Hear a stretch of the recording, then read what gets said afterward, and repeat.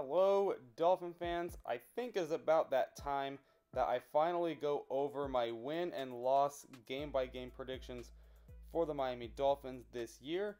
And I'm going to do something a little different than I did last year. Last year, I just did one of these videos. This year, I'm going to do three. So this is going to be the first one. It's called 1.0. These are my predictions for what I think will happen now. Maybe things will change in the future. Maybe they won't but I'll just go over what I think is going to happen on our schedule, how many games we're actually going to win. Not, I won't say a lot of people are hyping up the Dolphins, but will this team live up to the hype or will they kind of disappoint? Let's just get into it here.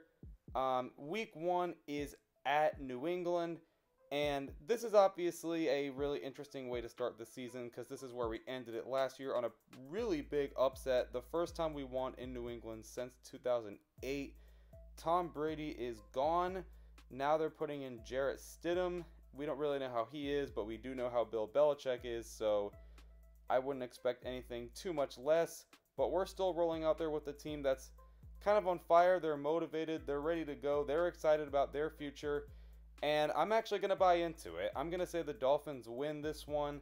I think they start out the season pretty good with a win on the road. And the Patriots, remember, never start out the season super well. So I think they can win that one. Then their home opener in week two is versus Buffalo. And just trust me, we're not going to win. Uh, yeah, we don't win to the Bills. And that's not going to change. The one Bills game I went to was actually their home opener in 2015. And um, yeah, that was not pretty, so I'm not going to be that stupid here. um, week three is our only primetime game. It's Thursday Night Football at Jacksonville. And uh, most people are probably going to disagree with me on this one, but I'm actually going to say loss. We haven't really been too good against the Jaguars recently, and I just, I don't really know. I, I don't really feel too good about going on the road on Thursday. I know it's just in Jacksonville, but uh, I don't know. I feel like Gardner Minshew is going to maybe be on fire on this game. I don't know. I just personally don't actually predict a win here. Week four, we're at home versus Seattle. Could definitely see an upset here for sure. Seattle never usually plays that well in Florida or just on the East Coast, but I'll still predict a loss here. It is still tough to doubt Russell Wilson, and I just don't know if our team's really ready especially in week five as we go to San Francisco. Obviously, it's the Super Bowl runner up, so not going to predict a win here. I think we're going to lose this one as well. Week six at Denver. Um, I don't know. Could be interesting. Gonna still put a loss here though. I don't think we'll win that one. Week seven is versus the Los Angeles Chargers. We've kind of been on a losing streak, but I think that does end here. I think they do finally get a win. Chargers, we usually play pretty well against, and they'll be traveling all the way here from Los Angeles, so we should get a win. Uh, it's not like they really have a lot of fans to root them on anyway. uh, week 8 is versus the LA Rams. I think we'll lose this one, though. Our O line against Aaron Donald, I feel like, is going to be a little bit too much, and I do still believe in Sean McVay. Week 9 at Arizona. I think we'll lose this one too. Uh, I think the Cardinals have a lot of hype getting, or uh, have a lot of hype heading into the season, and I think they'll actually justify that this year. Week 10, this is the weirdest part of the schedule for sure. So we have versus the New York Jets, and I will predict a win there. We seemingly get at least one win to the Jets every year.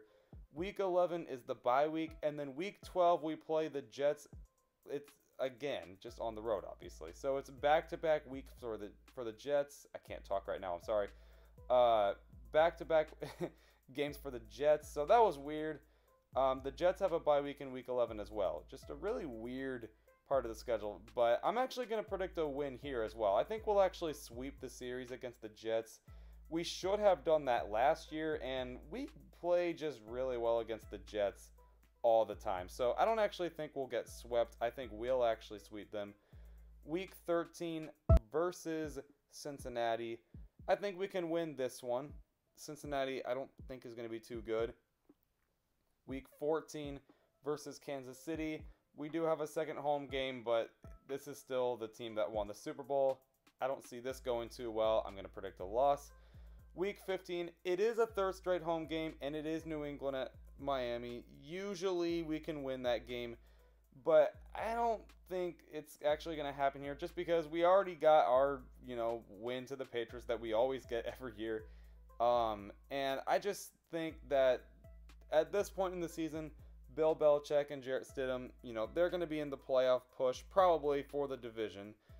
Uh, but I just think they'll be ready to roll on this game, and we're not going to quite pull it off.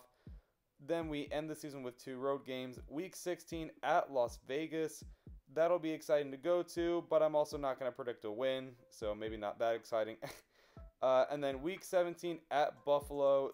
That isn't going to go well. The Bills maybe will be fighting for a playoff spot. I'm definitely not as high on them as everyone else is, but they could be, even if they're not. I don't see this going well. We never win in Buffalo. So, yeah, just don't see this one going well. And at the end of the day, I have us going 5 and 11. I know that's definitely not as good as we all hope. I hope they do better than that.